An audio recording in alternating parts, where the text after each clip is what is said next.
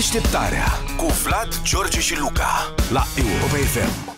A apărut vioara vegană. Dacă nu știați și presupun că nu știați, un lutier, lutierul e cel care face viori, un lutier irlandez a creat prima vioară din lume completamente vegană. Din... Nu, astea nu sunt. Nu sunt viori. Dar nu contează, e bine că avem fond sonor cu viori. Um, vioara vegană, eu întotdeauna am considerat că sunt legume care au potențial muzical.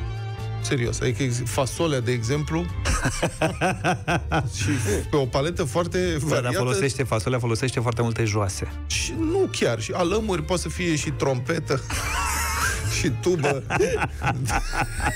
Deci vioara vegană. Vioara vegană nu e din fasole, cum ați putea crede, e în sensul că vioara vegană nu are nimic de animal în ea. Pentru că, în ciuda a ceea ce credem noi, viorile folosesc, sau la construcția viorilor, e folosit ceea ce, ceva ce se numește clei de oase. Adesea. Este o substanță adezivă făcută din, mă rog, nu o să intru în detalii, dar da, clei de oase. Un nemernic Stradivarius Da. asta. Și atunci irlandezul nostru lutier a schimbat cleiul de oase cu Jeleuri. apă de izvor și sos de afine. Apă de izvor și sos de afine.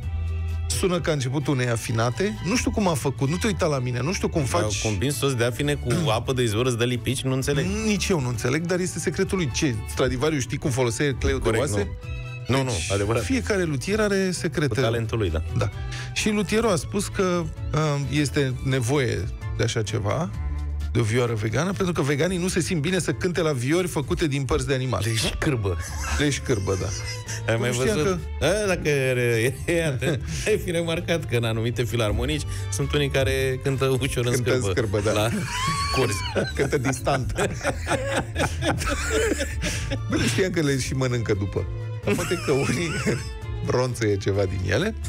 Și domnul lutier, în magazinul lui, irlandezul nostru, ține viorile clasice separat de viorile vegane. Ca De să ce? nu se Sunt atingă, certate? să nu se contamineze. Să nu se nu contamineze, vorbesc serios, oamenii sunt Razna. Bă, bune, razna rău de tot.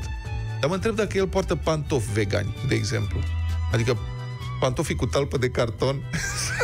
Aici Dacă- nu e o problemă, că acum n-ai văzut să se fac pantofi din peturi reciclate, adică ai piață. Dacă și se vrei pare să... mai etic și mai ecologic să porți pantofi din plastic în loc de pantofi din piele?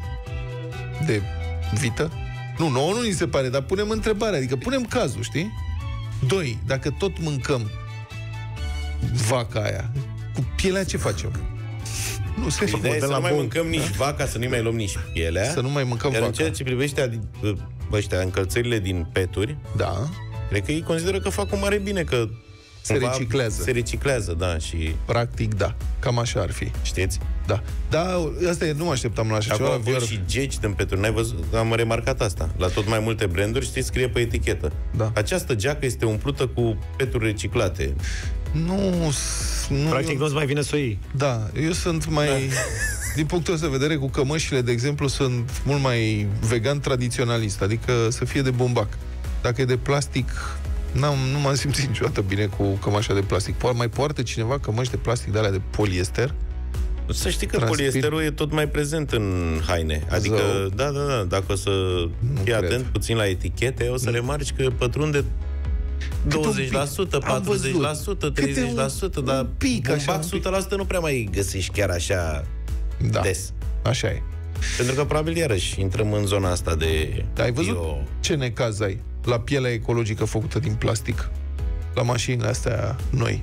Face buburuze, bășici și bule Da, se- de la se gelul, bășică. Da, se bășică de la gelul de păr.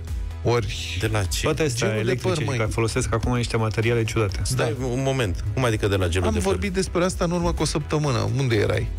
Și producătorii le-au recomandat uh, acestor șoferi care au probleme să șteargă cu șervețele umede pielea ecologică după ce ies din mașină, ca să nu se strice.